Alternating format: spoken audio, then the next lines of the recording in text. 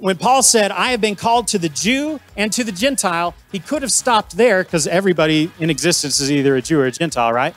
But he goes on to say, and the kings. Oh, why? Because there's a kingdom principle that if you capture the heart of the king, you win the hearts of the people. So if you want to advance the kingdom powerfully, if you if you hit the influencer, everyone under their influence is going to fall into the kingdom as well.